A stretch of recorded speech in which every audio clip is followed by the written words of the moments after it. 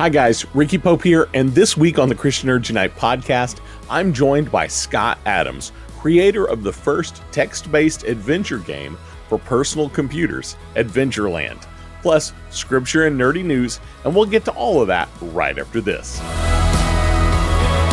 Hey, nerds, this is David with Tatooine Sons, a pop culture podcast. We believe that pop culture is the mythology of our generation. There is a story, it is written on our souls, and that all of these myths speak to that story. And that is why every Tuesday I talk about Star Wars and Marvel and DC and Lord of the Rings and whatever nerdy things we can think of with my two sons, Sam and Nate. It is a 30 to 45 minute celebration of all the weirdness that we love so much. Basically, mom said we couldn't talk about it at the kitchen table anymore, so we decided to start a podcast. We hope you'll check it out. It's on every podcast app out there. Tatooine Sons, that's Tatooine S O N S.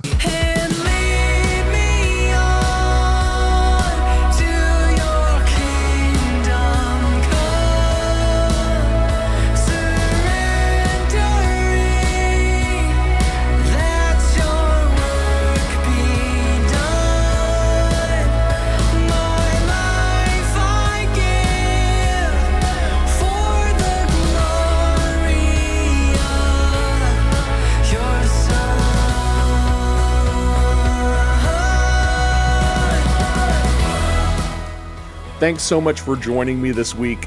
You are the reason I do this podcast. If you missed our live stream on May 4th, we announced the start of the Christian Nerd HQ podcast network. Christian Nerds Unite podcast is joined by Tatooine Sons, who you just heard from, Fangirling Over Jesus, and the Reverend and the Reprobate podcast. Make sure you go to ChristianNerdHQ.com to follow all the podcasts and see the content we're making together. Now let's read some scripture. Hebrews 10 23 through 25. Let us hold unswervingly to the hope we profess, for he who promised is faithful. And let us consider how we may spur one another on toward love and good deeds, not giving up meeting together as some are in the habit of doing, but encouraging one another, and all the more as you see the day approaching many passages of scripture talk about serving together or not going alone. And this passage is one of my favorites, asking us to think how we can encourage one another in Christ. That's part of the reason we launched Christian Nerd HQ. Uh, we, as Christian podcasters, are encouraging each other and finding ways we can serve the larger community of nerdy Christians out there, just like you how are you encouraging other believers to serve and, and love people, whether that's in person or online? I pray that the Lord will show you how you can get involved. Now for some nerdy news.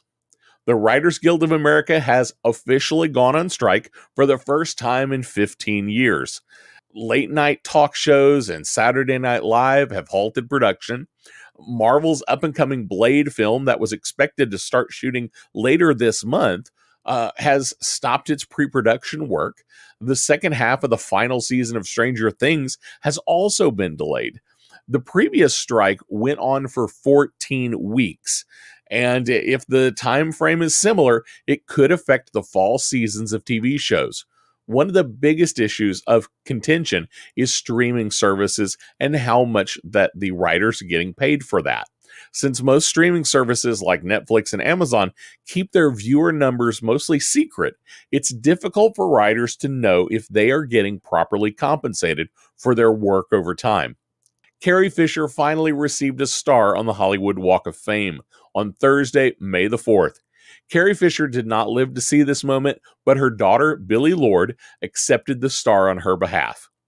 She is quoted as saying, My mom is a double whammy, a Pez dispenser, and has a star on the Hollywood Walk of Fame. Mama, you've made it. Mark Hamill was also in attendance and said, She played such a crucial role in my personal and professional life, and both would have been far emptier without her. Everything would have been drabber and less interesting if she hadn't been the friend that she was. Guardians of the Galaxy Volume 3 opened this weekend, and no surprise, as of this recording, it's number one at $114 million domestically and $282 million worldwide, giving it a better opening weekend than Marvel's previous outing, Ant Man and the Wasp. Quantumania, and finally knocking the Super Mario Brothers movie out of first place. Uh, it's pretty much meeting the expectations of those who predict box office numbers. Critics and audiences both appear to like the film, with 81% of critics and an audience score of 95% on Rotten Tomatoes. And responses in our own Christian Nerds Unite Facebook group agree. Many are saying it's the best Marvel outing since Endgame. I would love to hear what you thought about it as well. Scott Adams helped launch the home computer game industry. When I first reached out to him, he asked, Are you sure you have the right Scott Adams? Uh, thinking I might be looking for the one who draws Dilbert, but I assured him I was talking to the right Scott Adams.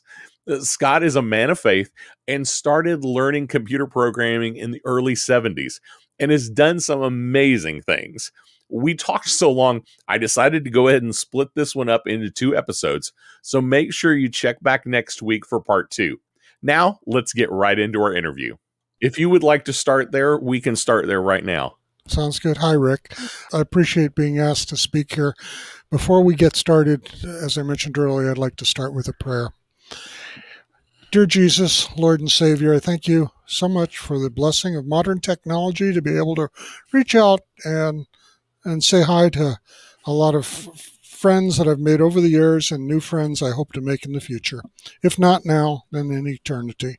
I pray this finds everyone in good health and and well-being, but we know we live in a sinful world. So I just pray for your spirit to be with me during this interview and to be able to do things that are uplifting and in your will and to your glory. In Jesus' name. Amen. Amen. Well, Scott Adams, it is great to have you on the Christian Nerds Unite podcast. And uh, for those who are out there listening, um, there's two different Scott Adams. And uh, uh, actually, when you and I connected, you even asked me, Are you sure I'm the right Scott Adams? I have and... been getting a lot of mail addressed to another Scott Adams. And because of it, I've made some very interesting friends, and uh, God's will has really shown through. So that's not a bad thing. it's providential. It's not an accident. Uh, absolutely. Well, this is the the Scott Adams who kind of started the home computer video game industry. So tell us a little bit about who Scott Adams is. Oh, oh, that's such a broad opening question. uh, and you said is and not was, which is interesting. Um, hi, all. I am, um, as you can tell from my opening prayer, I'm a follower of Christ. I don't belong to any specific denomination. If you try to nail me down, the closest thing I would say is I'm probably Messianic Jew in that uh, I'm Jewish heritage. Uh, my grandfather was an Orthodox rabbi. Oh, I was wow. I was raised in a um, uh, culturally Jewish household, except when mm. grandparents were there, and then we might have been a little more religious. Um, I was bar mitzvahed, um, so it gives you some basis. I did not come to Christianity way later because I was a, a Jewish atheist, which is not mm. as uncommon as you might think, mm. and really didn't have any strong beliefs one way or the other uh, till it happened that I finally reached out and actually said, God, are you really there? Show me. And he tapped me on the, sh- wow, I can feel the spirit right now. He tapped me on the shoulder and says, Yes, I'm really there. And things in my life changed a lot. Uh, and that was in my 30s. When I was doing Adventure International, which most of you are probably more familiar with, I was in my 20s. So I was not a follower of Christ at the time. I was an atheist. Okay. And everything I did, I was doing from a purely selfish viewpoint. I was trying to make money and trying to be mm. successful from for myself and my family. But looking back on it and listening to the stories from the people that people have told me, I can see God was really using me during that period. I was Balaam. I was Balaam riding on a donkey, not knowing what was going on. Uh, so I just praise God's name. I always loved computers and I love computer games. I can remember being in elementary school in the 60s and uh, home computers didn't exist at that time. There's mm. microcomputers didn't exist. The only thing available were mainframes. Yeah. And our school got to do a field trip, and I'm pretty sure it was University of Miami because I lived in North Miami Beach. And we got to do a field trip to see the computer center. And it stuck wow. in my mind because back then we didn't actually go in the computer center. This was such a special sanctum that there was a glass wall area where you could see the computer center through. and inside of it was walking around. There was the spinning lights and the blinking tapes. Scratch that, reverse it. Uh, you get the idea. Anyway, uh, it was amazing. And I said, I want to go in there. And the teacher says, Oh no, I'm sorry, you can't go in there. That's that's only for the computer scientists. And it was like as a kid, I was Oh yeah, I'm going in there one day. You'll see. That's awesome. Um, shall I continue? I can I can give you quite, yeah. quite a bit yeah, of interesting us, background. Yeah, give us a little background. I, I'm I'm I'm super interested in in how you got into computers in general and and then how you got into the gaming industry. Okay, kind of well, starting one of the in, one of the the leading companies in the industry. I didn't get then. into the industry. I literally had to start the industry. that is true. that is true. Um, so let let me let me hit some highlights here. So, all right, elementary school, fascinated with computer. I remember in sixth grade uh, we had a math course, and it was binary we learned oh, to wow. do in binary. I loved it. I thought it was incredible, especially when I was told this is a language computer uses. Okay, well, then I want to learn it. And so I learned binary. It didn't do me much good. I remember seeing things in uh, advertisements then. It might have been Boys Life or something else. Buy your own real computer. Basically, it was a, a glorified mechanical calculator, but that mm. sort of thing really attracted me. so, um, move forward a bit further, and uh, I'm now in high school, and I'm in 11th grade. Uh, still no real computers in my life at the time. Everything is non computerized. This is again in the 60s, um, so around 67, 68. Um, uh, touch tone phones were were just a, about the newest thing at the time. Color television had appeared by then, uh, so but things were still pretty simple. Um, man was on his way to the moon, but hadn't arrived yet. Uh, so you get the idea. Mm. So uh, my mother decided that I was going to become a doctor. And mm. I was already enrolled for, I had got accepted and enrolled because of honors classes and and uh, uh, grades I had to go in for early admission to University of Miami to go into pre med. So I was all set, and I told my mother no. After, and I don't know why I did this, but I did.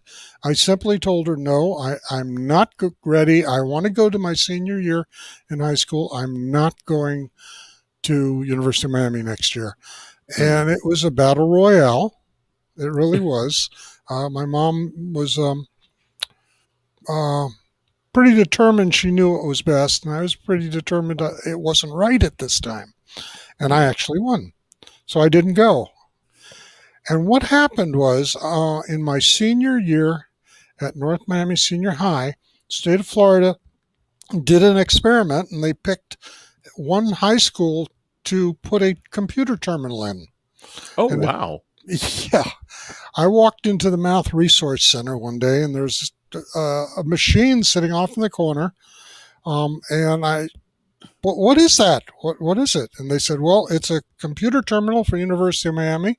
I said, what do I do with it? We have no idea, but it's open to students and you can do anything you want. Um, I found out it was a hooked to the mainframe and it was running something called APL 360. So it was a 360 mainframe. APL is a programmer's language, uh, but it's also a mathematician's language. You can take the determinant of a matrix with a single operator to give you an idea. It's literally Greek characters. So the first language I learned was literally Greek to me because I, I had to learn Greek characters.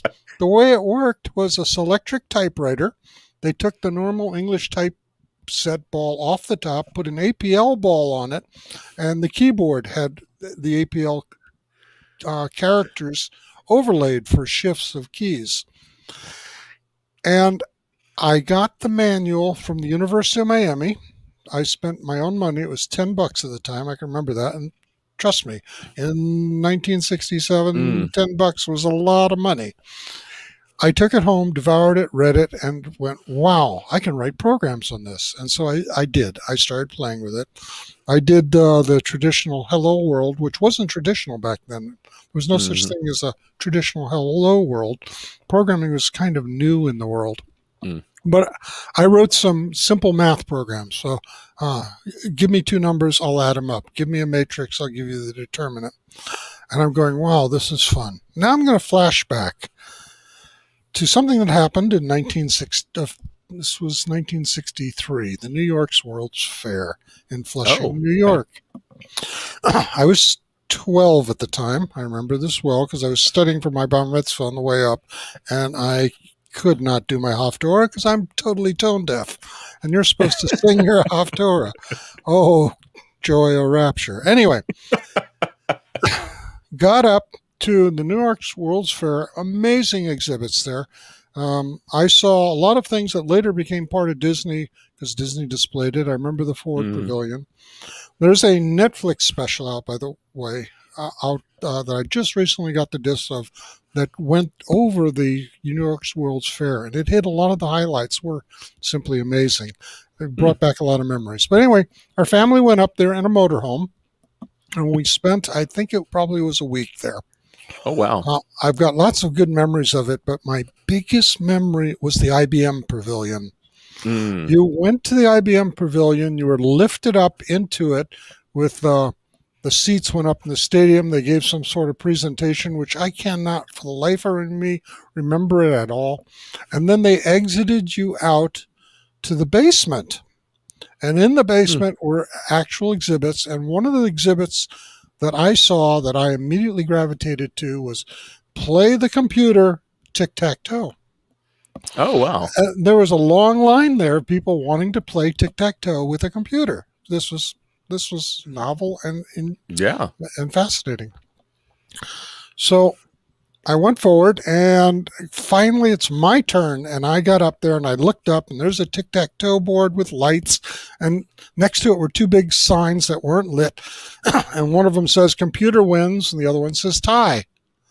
And I and the guy said, "Okay, it's your turn. You can play." I said, "Well, wait a minute. There's something wrong with those signs. Where's the one that says I win?"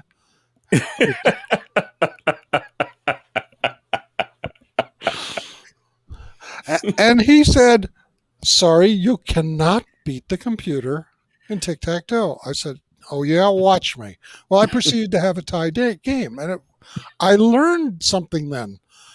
The game of tic tac toe is deterministic. If you Mm. know what you're doing, you never lose. Yeah. You know, you're you can win, but you'll you can never lose if you know what you're doing. All right, so now we're back in high school, and I'm thinking, okay, I want to really write a real program now. What am I going to write? I decided to write a tic tac toe program. Mm. And I did. And I've actually used this example for mentoring kids a lot um, because it works out very well, whether it's Visual Basic or Mm. C Sharp or whatever language. If they're interested in game writing, try writing a tic tac toe program because you can do it in stages. Your first stage is simply being able to represent the board some way and take Mm. players' moves so two players can play. And then determine if one's won, determine if a move is legal, et cetera, Mm. et cetera, et cetera. Yeah. so I'm building this game, and I got permission I remember his name, Mr. Nordmeyer, was the head of the Math Resource Center. Amazing how things like that stick with you. I got permission where I was the only student allowed to come in early when the janitors got there and they would let me in. I had a key to unlock the phone so I could dial up. This had a modem.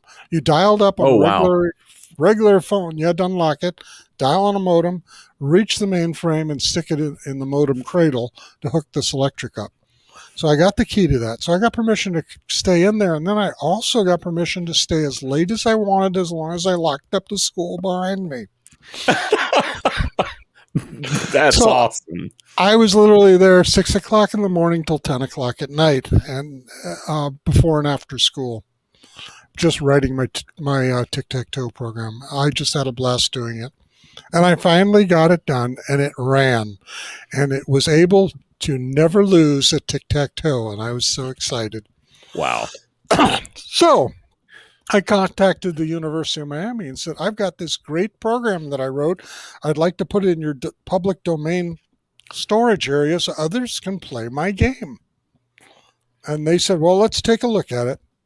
And they got back to me and they said, No, we don't want it. We've already got a tic tac toe program and it's far better than yours. And I was shell shocked. Oh, But that didn't stop me. I got the program. I downloaded it. And APL um, is is basically an unlocked language back then, in that you Hmm. can you were running an interpretive language, so you could see the source all the time, sort of like BASIC. oh, okay. Yeah. So I took the source where mine was reams and reams of of pages that I literally hand coded at home with pencil and paper, and then went in and typed it in. Where Wow. mine was like 8, 10, 12 pages of code, this is all done in one page. And I looked at it and I learned all sorts of amazing program tricks. And I Mhm. realized if I want to learn how to do this stuff, I got to learn. I got I got to figure out things for myself. But there's so much others can teach me. Mm. So that was that was uh, my first computer game. And if I'm not mistaken, I think I gave that code or one of my early APL 360 code to the Strong Museum in Rochester, New York. They've got I, I donated my collection to them. And Oh, wow. uh, I remember having a pack of APL program that I think was that original game, but it may have been some other program that I wrote while I was in high school too. Hmm. Um, unlike later, where I had to, all programs were on punch cards, this was actually digital because you entered it in and you had the paper trail as the Hmm. selectric uh, uh, scrolled it out. so I went uh, off to college. Um, and because I had spent that year learning about the computer, I told my mom not only wasn't I going to early admissions at University of Miami, I wasn't even going to go to University of Miami to be a doctor because I wanted to be a computer computer scientist. And she says, "Really, Scott?" So I, I the school I enrolled in was called FIT. They billed themselves as the MIT of the South. Um, Okay. They were kind of unique. They I was in um, my, living in Miami. They were in Melbourne, Florida, which is halfway up the state of Florida on the Space Coast. They were literally the only fully accredited school in the United States at that time, college, that still had its founding president Oh, because wow. he built it around the space program. He started it because Hmm. of the space program, and he wanted to uh, have a homebrew, a Florida base for en- uh, an engineering college. Hmm. Um, so I went up there, had an amazing time. Um, I went up there as uh, a work study student, which means that I was I was supposed to be able to get a job on campus to help Hmm. defer tuition, um, and I was hoping I would get a job at the computer center. That would be cool. But yeah. I went in, talked to them at work study, and asked, uh, you know, I'd, I'd like to work in the computer center. And they said, yeah, yeah, you and a thousand other kids. You're kidding. uh, we may be able to get you a job in the library. Okay. Well, here's, wow, I feel the spirit on this. Here is a working of the Holy Spirit that was so totally amazing. My roommate that I was bunking with, his name was Craig, had Mhm. already written ahead and gotten permission to get a job in the computer center. He Oh, wow. was going to be working there. And I heard that and I said, Well, when you go in, do you mind if I tag along? He said, well, I don't think so. I mean, this was for me. I said, I'm not going to hurt anything. I'll just walk in with you. You know, what can it hurt? Little chutzpah there. I did. I walked in. Uh, the director of the computer center was there, Mr. Brown. Uh, for whatever reason, I don't know. I something hit it off because I told him what my dreams were, what I had been Hmm. doing. I told him about what I had learned, and he gave me a job. I remember my Oh, wow. first job at the computer center was sticking mailing labels on the alumni newsletter but I was in the computer center. Now, to fast forward real quick uh, through my college years, by the time I left the college, uh, col- after three years, it wasn't when I left, after three years, I was a programmer for the college and I was in charge of all their financial programs payroll, wow. accounts receivable, accounts payable. I was doing all that. Because of my work that I was doing for the college, I was getting free tuition remission. So I was getting free college education. So Wow. it- this this was amazing. This this opened up so Mm. much to me because I had access to the mainframe. The schooling there had access to a DDP 24 cast off from Honeywell that came from the Cape that was upstairs. There were literally long lines. You had to sign up to use the machine. Oh, you get a, a fixed slot of time on it. Whereas I could saunter in, I use the mainframe whenever I want, 24 7. Literally. I was a, one of a handful of programmers there that, uh, and I had full access. Well, what happened was I remember I had one class where I had to do an assembly language program for this DDP 24 upstairs. Well, instead of doing just the assembly language program and waiting in line and trying to use that machine, I wrote an entire simulator of that computer down on the mainframe. then I wrote an assembler for it. Then I wrote my project in that assembler and turned it in. Literally oh, the my. next year there was an uh, assembler course uh, for uh, writing an assembler. I said, I've already done this. Let- And they found the instructors, I showed him what I did. He had me guest lecture the course. Oh wow. so, This this is what my outlook on computers was. It, it, just because you can't do it, that wasn't going to slow me down. Um, wow. so I graduated.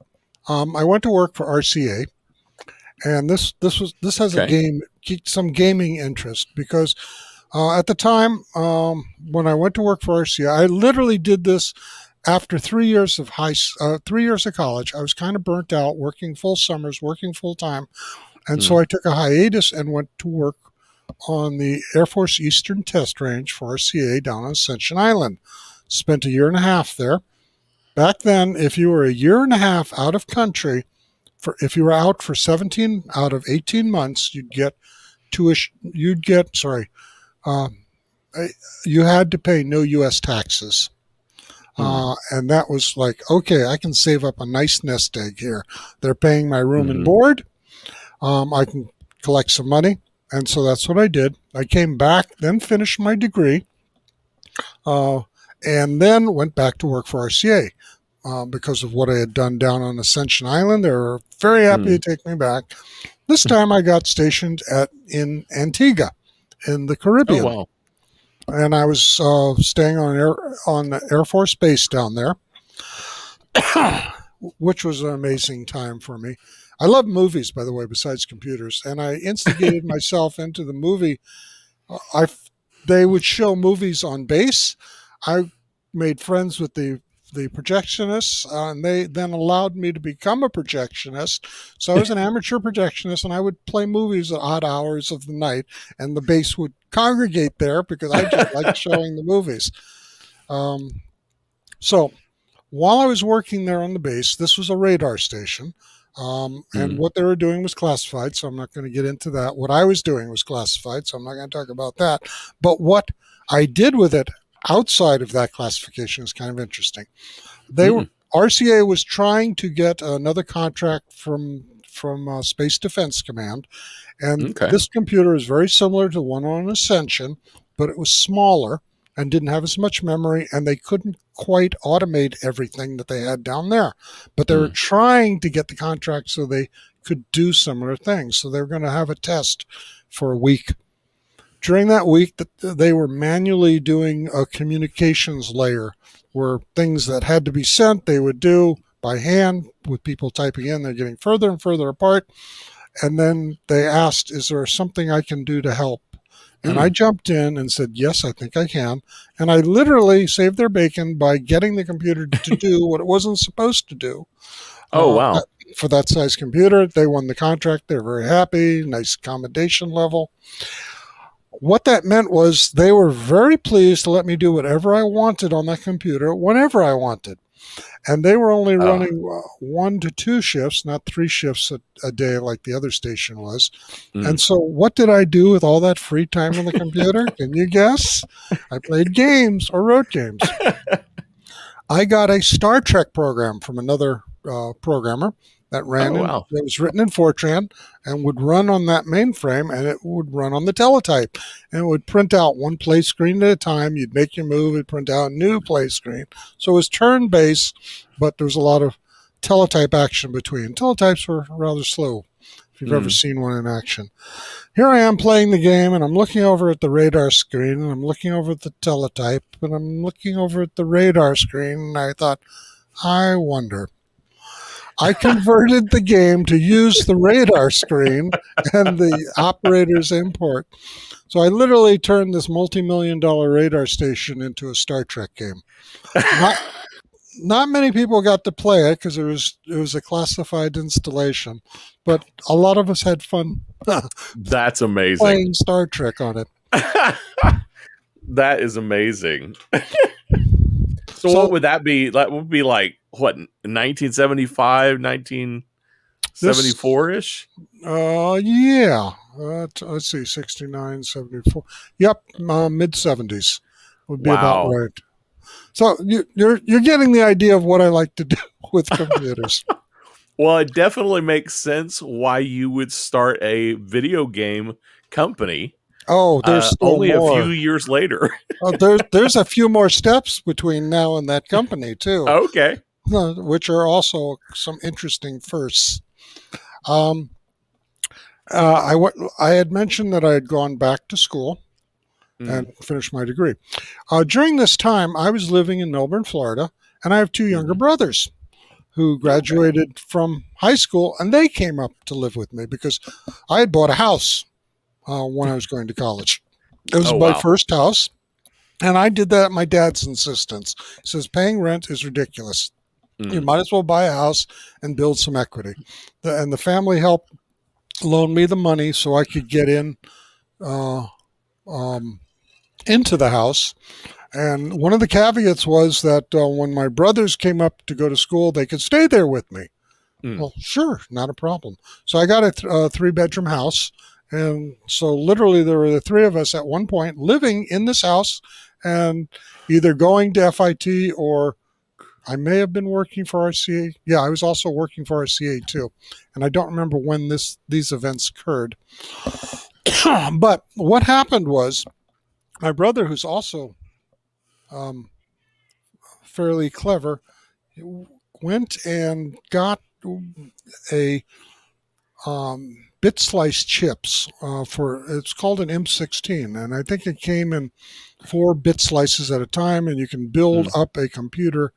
And he literally built a 16-bit computer from from these bit slice CPUs. Oh wow. And then my other brother built a TV typewriter for it, so you could enter text in. Hmm. Um, so you could do some peeks and pokes and put stuff in. I sat down. I remember seeing uh, Space Wars in the arcade, and I wrote a another Star Trek type game where it was strictly keyboard and you're only playing with characters, but on the screen your little E would move around, E for Enterprise, and then there was a K for Klingon, and you could shoot each other. So it was it was a, a space fighting game.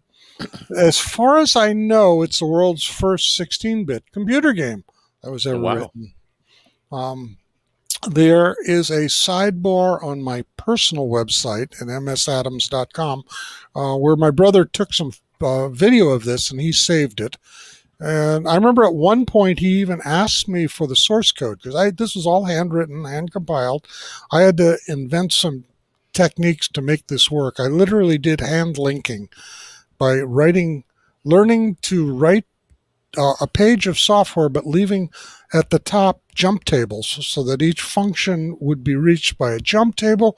And then as things moved around, uh, there would still be some uh, easy way to reassemble it because I had no assembler. I'm doing everything with peeks and pokes. I wrote the whole thing in pencil. You can see all the erasures and everything. And then I hand assembled it into the ones and zeros and and had the and I don't remember if it was hex or octal on that machine. I'm pretty sure it was hex that I had to peek and poke in to make it work. But I did. Wow. I, I got the game working. And so this was another thing where I was gaming and learning things. So I had two very Mm. smart brothers with me. Uh, one of them who did the hardware, another one who did the TV typewriter, and I was doing the software. Wow. This isn't the end of the story. There's more, as they say, and I still haven't started Adventure International.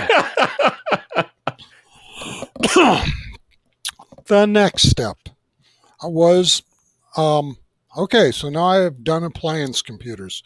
Um, it was a blast being able to do that. Um, actually, this may have occurred before the, the imp, but I'm not sure. I actually don't remember the time frame. A computer came out called the Sphere, uh, just like a round globe, sphere.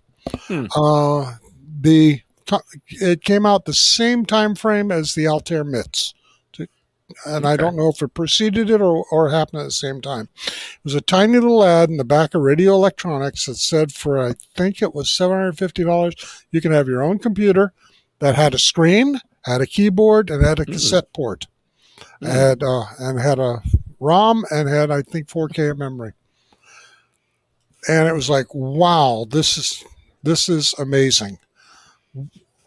Wow. So I literally put in an order for it.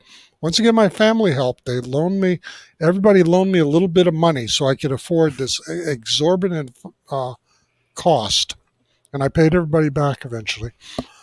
I found out later that I was the very first order that they got. I was Oh, the wow. First order, and it didn't even exist yet.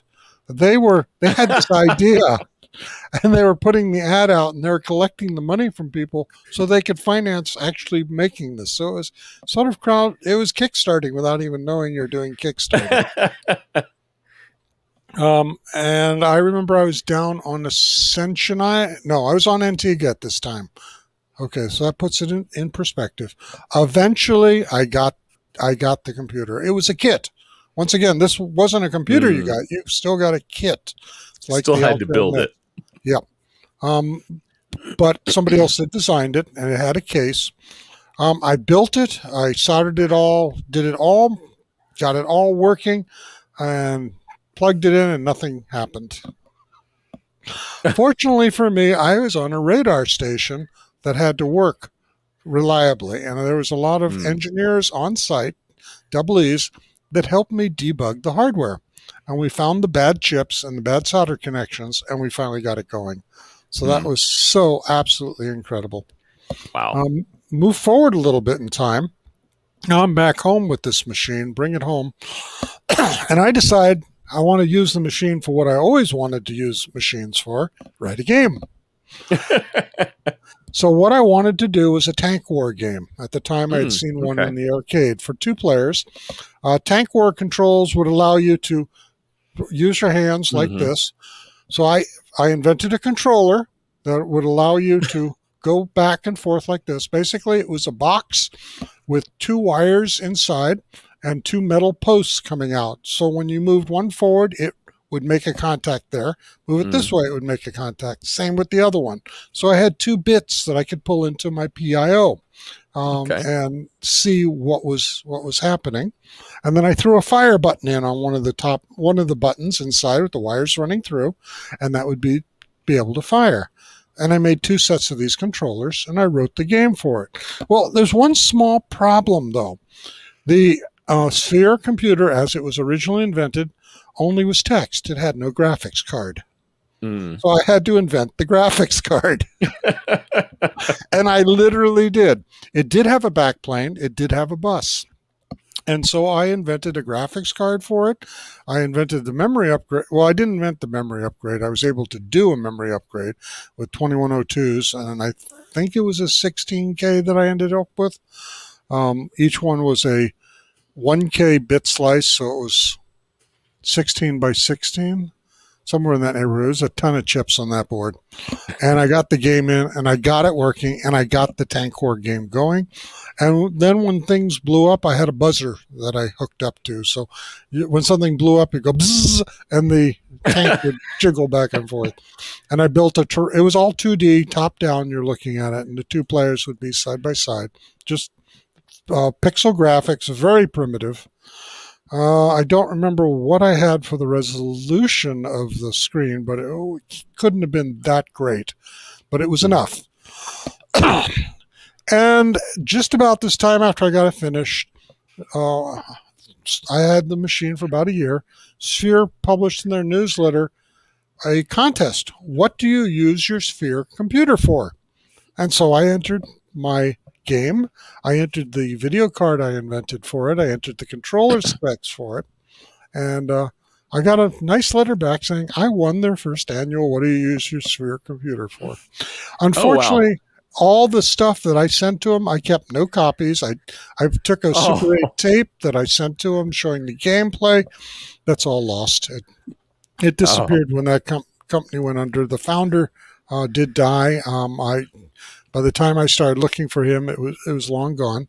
My machine got picked up by a collector um, sometime in the late 70s. I remember just before I moved to Orlando, somebody mm. who collected computers bought it. And I just hope it ended up uh, in somebody's hands. It was kind of unique because because I had all these expansion cards that I did on it. I took the expansion tray out of the case and mounted it to the top instead of inside, so I could get to all my boards and be able to. Mm. Uh, fiddle with things. So if anybody ever finds a sphere with the expansion frame mounted to the top of the cabinet, it might have been mine. so this this now takes me to a more um, it now takes me to the point where you ask, how did I get into selling games? Mm. So th- this was all for fun up to this time. Um, I always enjoyed entrepreneurial spirit when I was a kid, and slot cars were a big deal. Mm. I, re- I remember getting slot cars of my own, getting permission from my parents to turn our garage into a slot car haven, and I would charge a nickel for the local neighborhood kids to, to play slot cars. anyway, um, about this time, the TRS 80 came out. It wasn't called mm. the hmm. Model 1 because they only had one. It was just the TRS 80 computer. Uh, they did have two levels, a level 1 and a level 2. I was primarily interested in level 2 because level 1, though was good and cheaper, it was 4K and it had a um, tiny basic in it. Level mm-hmm. two excited me because it had a 16K and it had a better basic from a small company I had been following that I thought their basic was really phenomenal. Um, mm. I had heard about their basic in, reading in articles, but hadn't been able to use it yet. It was some tiny little company out, uh, I think they were in Washington at the time. They were called Microsoft. it had Microsoft Basic, and that's what sold me. Basic is uh, Basic was my first adventure into computer programming. Mm-hmm. So that was that was kind of where I I got into this the world. It's a but, good uh, I did not start. advance very far. but it, it's a good way to give you a taste. Absolutely. Uh, so I got the machine, finally got the machine, and uh, I was so excited. And of course, after playing with it a little bit and entering their few demos that they had, I decided I wanted to write, can you guess, a game. And what did I write? I wrote a piece of junk called Dog Race. Basically, you had two dots that ran across the screen, and you could bet on which one would win. but it, it was a game. Okay, yeah, it wasn't much of a game. Um, I took it to a local Radio Shack uh, and said, "Can I sell my game here?" They, yeah, sure. We'll put some cassettes up, and we'll notice. It might have sold two or three copies. It was, it was pretty sad. okay, so I'm playing more with this, and then I'm getting into basic, and I said, "Oh, this basic has a feature that I've never seen in Fortran, and I've never seen in COBOL." Never seen an assembler, and I knew all those because I've been doing a lot of that mm-hmm. work. I'd worked on mainframes like uh, DEC. I'd been working on Xerox Sigma series. I'd worked on IBM, but BASIC had something unique that was that DARPA had. Not, I don't think it was DARPA. Term Dartmouth. Dartmouth Basic. That's okay. where it originally came out of. It had something unique called strings, which meant you can manipulate English text. Mm. I thought that's kind of cool. I want to learn this feature but I need to do something with it to, learn it. And whenever I learn a computer feature or something, my first go to is can I write a game with it? Mm. I was working at Stromberg Carlson at the time on the on a their first digital central office for tele, telephones. Uh, no more clanking relays and boy, if you ever saw uh, how telephones worked in the 60s, it was a mechanical awesome mechanical miracle that thing mm. ran. Relays and switches that were uh, literally eight feet high, clicking away, doing things. So they were digitizing it, and I was one of the mm. programmers in there. At Stromberg Carlson, uh, we did not have computers. We had one mainframe, and we all had terminals to it. And mm. then there was the programmers and everybody using it, the engineers, and then there was the IT staff. They were kept separate. IT was different from the programmers. Well, I found out that the IT staff had gotten a copy of a game that they had put on the computer and that they were playing it. And so I got permission to get a login so I could play it. And I came in um, every morning before work. Sound familiar? And I would stay every night till late. My wife is going, Where are you? What's going on? And I played this game for a week and it just totally, totally fascinated me. And I got through and I finished it. It was a one time deal, it's a one shot th- through and done mm. type game, but it really inspired me. Um, the name of the game was Colossal Caves Adventure. Ah, yes. And it was, it was uh, just just awesome. It was amazing getting to hear some of Scott's stories Next week, we'll hear even more about his journey and about some of the work he's done in faith based games. So make sure you listen next week. Well, that's all I have for you today. Don't forget to like, subscribe, follow, click, click all those links down there, there in the show notes so you can keep up with us at every time we release content. And you can find all of our social links, links to our YouTube channel, and to our online store at ChristianNerdsUnite.com.